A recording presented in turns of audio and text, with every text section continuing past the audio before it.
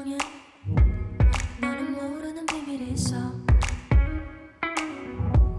눈에 보일 리 없겠지 발 밑에 숨긴. 사실을 넌 전혀 모르겠어.